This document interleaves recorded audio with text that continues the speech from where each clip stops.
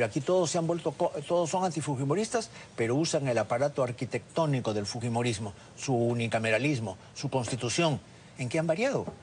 En variado, no, no hay ninguna innovación, no hay ninguna rectificación. todos se han allanado. Están jugando con las reglas del Fujimorismo. Están jugando con las reglas que les convienen porque están sentados ahí disfrutando y participando del poder.